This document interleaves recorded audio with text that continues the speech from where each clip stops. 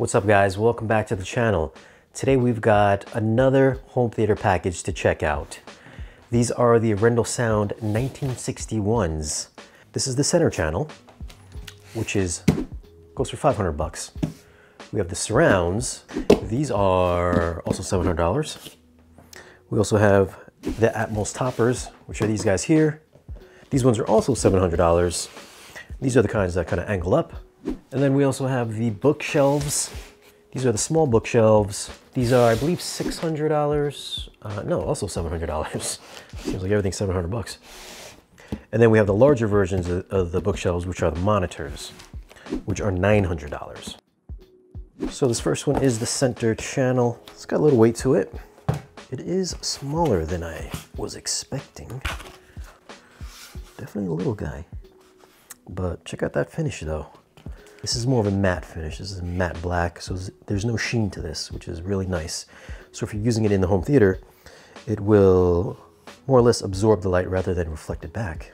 On the back, these are not bi-wireable like the other ones were, like the larger ones, but these are also wall mountable. They got little keyhole slots here and the little mounting slots here if they if you wanted to get the wall mounting brackets. Five and a half inch woofers, woofer mid-range drivers, mid-range drivers, and one inch soft dome tweeter. Inside the waveguide, so this should give you pretty wide dispersion. And this is around the edge here is a kind of a soft rubber. Oh, frequency response for the center channel, 75 hertz. They don't dig extremely low, but good enough though. Still nice little cloth bag in here. Keep it from getting scratched up in shipment. These are these are little babies as well. Look at that. It's cute. Five and a half inch mid-range woofer and one inch soft dome tweeter in the waveguide. It's got the same rubbery outside ring and not bi-wireable, but you can wall mount it. And same rhodium plated binding posts. It's got the little notch there, which I think is a nice touch. So if you're laying it flat against your wall, the speaker cable can go right through that notch so you don't have it bumped out of the wall at all. And of course you get the keyhole slot there. And then with the grill attached, very nice. Look at that. Nice clean look. Same matte finish, matte black. That's like my favorite finish for a speaker, for a home theater at least. So that's nice. Next up are going to be the height channels or the Atmos toppers. All right, so you can see it's got the angled profile. So if you want to drop it on top of your speaker, it's supposed to direct sound upwards. Is that true? Hold on, let me see. Can you put that on top? I guess so. I, I would have thought there'd be more of an angle to shoot upwards, like if it was laying down. Yeah, it looks like it's looking straight up. Yeah, very slight angle. Mm -hmm. Strange. I'm gonna have to try it out, and see what it sounds like. Bouncy house. Yeah, it, doesn't look like it would bounce that much though if you look at it. But we'll see. And you would think that maybe the tweeter would be up at the high point, shooting upwards. Could be wrong on that. But same thing, five and a half inch driver, one inch soft dome tweeter in the waveguide. Around back, this is a nice touch that I have not seen another speaker have is this rubbery soft touch back. So if you want to sit it on top of the speaker, your left and rights, this will not scratch it. So that's like a rubber pad. Very sweet. And then keyhole slot, mounting points, and your binding posts. So that's a nice touch. I like that. Same matte black finish. This also goes down to uh, 75 Hertz, just like the surrounds and the center channel. All right, so let's move on over to the bookshelf models. These ones are also 700 bucks. Nice cloth bag. Looks like the other speakers, just, you know, just a regular square factor, square form factor. Same driver, same tweeter, same mid-range, same uh, waveguide. Um, same back as the other guys. Binding posts, little notch for the wire. This also goes down to, I think, uh, 75 Hertz. So everything so far has been going out at 75 Hertz. You probably want to cross it down at least, maybe 80 Hertz or so. And all right, so these ones are $900. And Yeah, so these look like uh,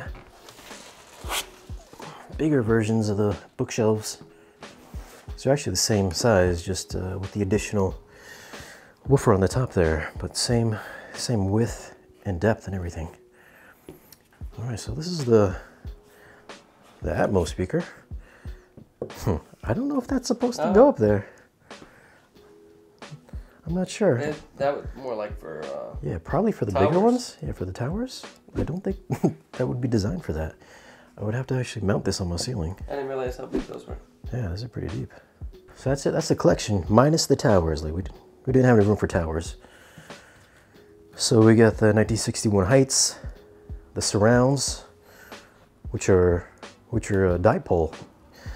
Actually, I thought you could use these as dipole or monopole or tripole, but it looks like you could only use it as dipole because you don't have the extra binding post to disconnect or connect the side drivers. So it looks like it's only for dipole usage only. And then we got the bookshelves, the small guys, and then the bigger ones, which are the monitors. So I'm gonna go ahead and get these set up in the theater and we'll play a few demos. And then afterwards, we'll give you some thoughts and impressions on how these guys sound and if I think that they are worth the asking price, which, you know, from the build quality and everything, really stout packaging. These are like little, little bricks and super high quality build. So let's go ahead and get these things set up. For setup, the speakers are going to be hooked up to a Trinnov Altitude 32 and they're going to be powered by a pair of McIntosh amps. For source material, I'll be using a Zappiti media player. They're going to be placed in my dedicated theater, and I'm also going to set these up without using any room correction. Just the levels and the distances are going to be set. And for the majority of testing, I'm not going to pair these with any subwoofers, just so we can hear how dynamic they are by themselves. As for the 1961 heights, since they are too big to be placed on top of the bookshelves, I'm not going to temporarily mount these on my ceiling, but I will test these in my living room system. First movie I threw in was Kong Skull Island on 4K Blu-ray. This is an Atmos extravaganza that's aggressive from every channel. You'll hear chopper blades whirling in a circular motion through the lower channels, with machine guns blasting away in the side surrounds. And let's not forget the massive amounts of bass.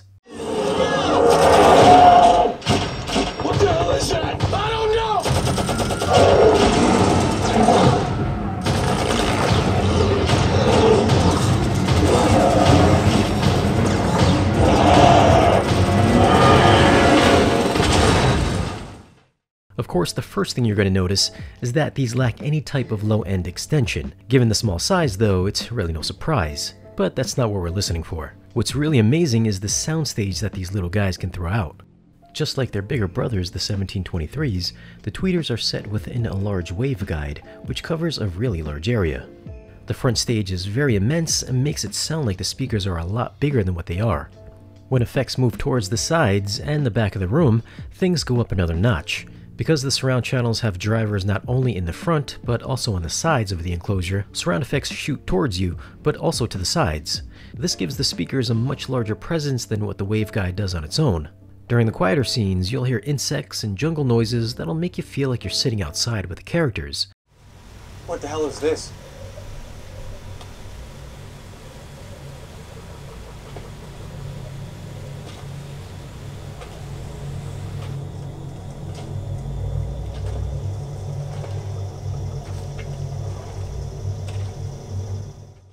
There's excellent detail from every speaker, and the tweeters produced every little nuanced sound effect. Again, since these are small speakers, things like Kong growling or him stomping on the ground will be non existent, so these must be paired with a subwoofer to get the full experience. Next movie I threw in was Gravity on Blu ray. This is a great movie to see how well your speakers match tonally. During the beginning, you'll hear Clooney and Sandra's voice move in different directions, and they should sound exactly the same when they pan through each speaker. Mission granted. Hey, you, Houston. Have I joined the fun? Certainly. How you feeling? Like a chihuahua that's being tumble drive. Well, it's been a rough week. Makes you feel any better. I coughed up everything but my kidneys on my first ride. One thing I've noticed when the dialogue moves from front channels to surrounds is the voices do change characters slightly since the side drivers make things seem bigger. So when voices move from left speaker to left surround, it goes from being very pinpoint direct to a more it's coming from the left surround area. It's spread larger and not so beamy sounding. As mentioned before, it does create for a larger surround atmosphere. Now, unlike the larger 1723 surround speakers, you can't disconnect the side drivers and use these as only direct radiators. If you want to go more direct, you can use the 1961 monitors all around. This would give you perfect camera matching in every location. Me personally, I'd go that route since I like that direct sound coming at me, but it's a subjective thing, and you may prefer the sound of the triaxial design. Next, I tested how well the height channels worked for bouncing sound off the ceiling. I placed these on top of a pair of Focal Super 1s, and I used the Yamaha RX V6A receiver. Keep in mind, you will need a flat ceiling for this effect to work properly. I played the Atmos helicopter demo to see if I could hear the chopper above my head.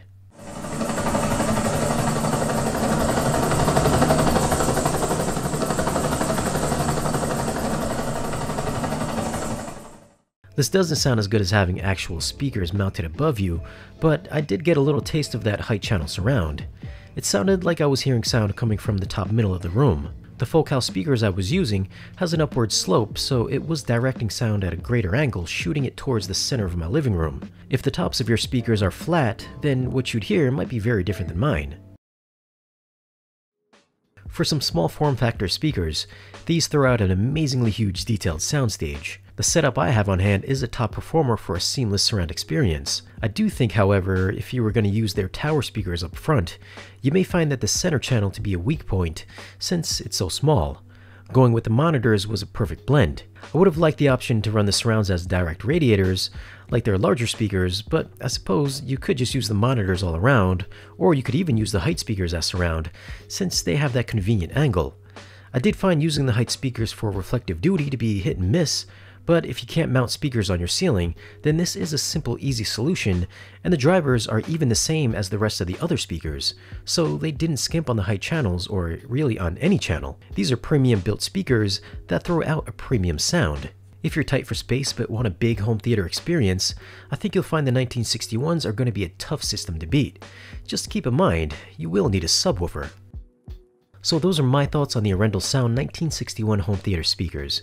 Have you guys heard them, and what's your take on the sound quality? And if you haven't heard them, Arendal Sound does offer a 60-day buy and try period. As always guys, thanks for watching. If you want, you can find us on social media, and if you want to support the channel, then stop by our Patreon page. Don't forget to like, share, and subscribe, and we'll see you guys again in the next video.